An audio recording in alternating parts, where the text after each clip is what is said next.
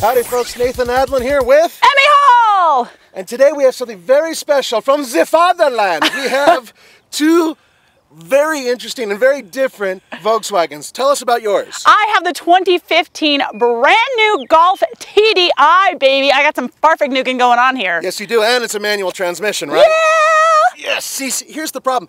I have the brand new Weld 2014 Bug, that's the R line, so it's the Beetle R line turbo but it's an automatic, it's the DSG. And what we're gonna do today is we're gonna take them around the track and we're gonna do a little bit of a review and we're gonna have a little bit of fun, right? Oh yeah, we're always gonna have fun and I think I'm gonna kick your butt. Maybe. Kick your butt! Yeah, it's coming up next on the Fast Lane Car.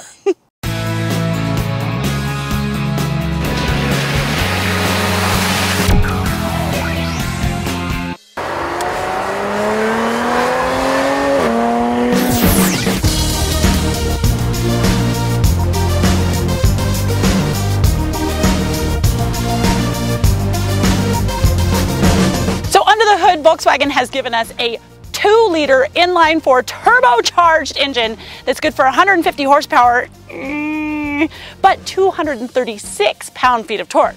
Now, power's going through these front wheels via a six speed manual transmission. Thank you, baby Jesus. And EPA fuel ratings are 31 in the city and 42 out on the highway. But we have driven this car for about 500 miles and we've been averaging nearly 50 miles per gallon. Yay, TDI!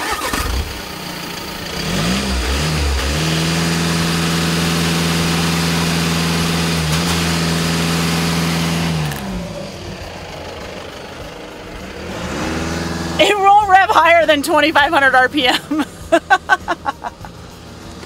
Come on, girl! My two liter engine has nothing to do with Emme's two liter engine. This is a turbocharged four cylinder with direct injection that puts out 210 horsepower and 207 pound feet of torque. And just like Emme's, it is fed through the front wheels. And unfortunately, it has the DSG, which is a six speed. There is a manual option. Now, the good news is all around driving and the feel and the characteristics of the car are great and I'm still been you know, getting around 25 miles per gallon average.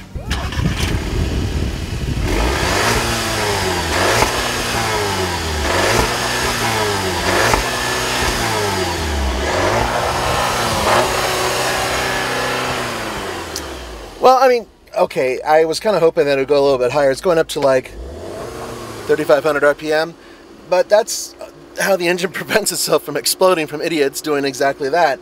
Still, it sounds okay.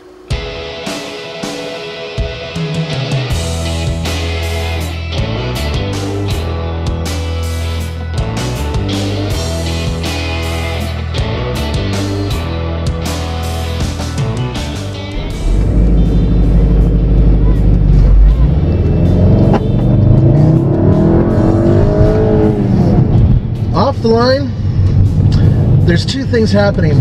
There's turbo lag, it's not horrible. And then there's lag from the transmission. It's kind of like it doesn't want to completely engage. I think what it's doing is it's minimizing wheel slippage by doing that. That's my guess. You know, remember, these things outthink a human being 10 to 1. They're making lots of decisions very quickly. Not all of them are the best decisions, but, you know, that's kind of how the whole thing works. The good news is that this feels like an older GTI. And with 210 horsepower, it better. Suspension's really well sorted. I have it in sport mode, and I played with the paddle shifters, which are these little plastic buttons on the steering wheel, and it doesn't quite, how do I put it? It's not as fluid as I would like, and every time I did a 0 to 60 run, it was better for the car to do it itself in sport mode. So, in sport mode, that's what I'm doing this track in. Come on, baby. Good brakes. Dude, 121. Lie to me some more. Come on. I don't. 115.8. Hey, that's pretty good. Yeah, how'd it do out there? This feels like a big GTI, like slightly heavy Yeah, yeah, and yeah. wider. It's really well sorted. The suspension's excellent. You need to try this car. What about the DSG? It is a DSG, but yeah. but but you leave it in sport mode and it's pretty intelligent. If you start messing with the paddles, it gets all weird. So you just let it shift for you? I had to let it shift for me. Okay.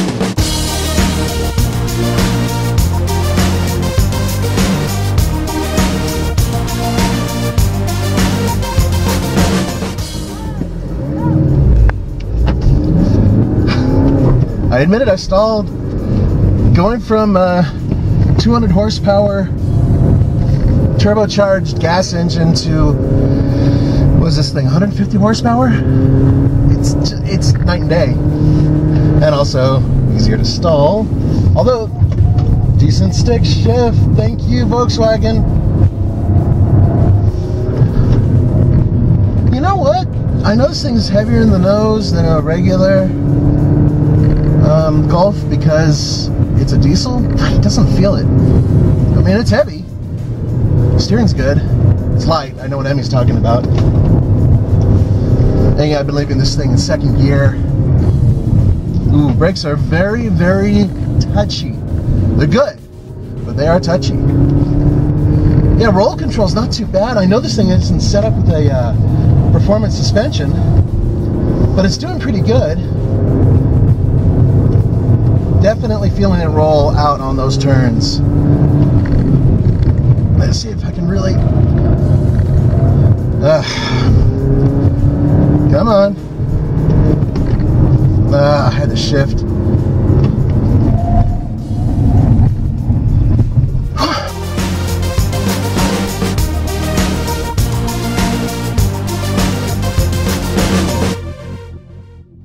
One nineteen point one.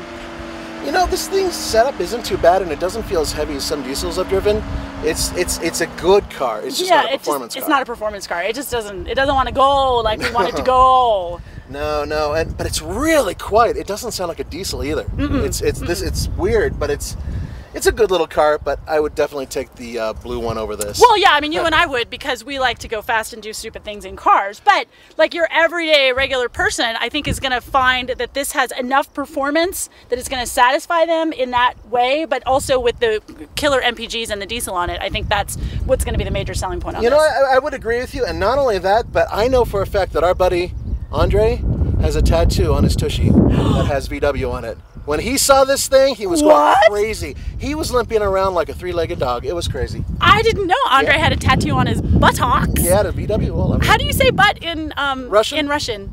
Popa. Popa. so Nathan, what do you think? Well, first of all, about the diesel, guys, remember that diesels are not normally known for being high performance, but at the same time, look at the 24 Hours of Le Mans Right. and cars that win there. Diesels can do it, and this car proved that it handles, Yep. gets great mileage, and yeah, sure, it wasn't the fastest around the track, but it didn't embarrass itself either. No, it didn't. And we were both within a second of each other. So, you know, that's definitely not a driver thing. It, it- the car was really well sorted. I never felt like it pushed at all. No, not at all. No, and the steering felt great. It's a little light for my taste, but I'm kind of like a little janky about my steering and I like it really, really heavy. So I think that people are going to be satisfied with this. It's going to give you enough performance to feel like, you know, your car's got some get up and go. Yeah. But at the same time, it's giving you the awesome MPGs of the TDI. Indeed, it is. And for the blue car, now look, it's a two-liter turbo. They're everywhere, all throughout the line of Volkswagens and in some Audi products as well. And it's a great engine. It really, yeah, really is. It was right? really fun out there. But what's the one thing this car's missing? Oh, manual.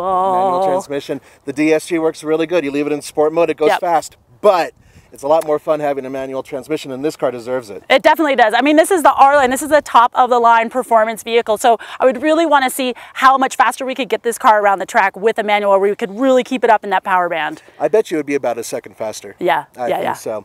well, th- thanks for joining us for the Fast Lane Car. Hey, it's Emme Hall. and Nathan Adlen, and we will see you next time. Don't forget to go to TFL Car for news, views, and reviews, and for the real world reviews. Hasta luego. Bye.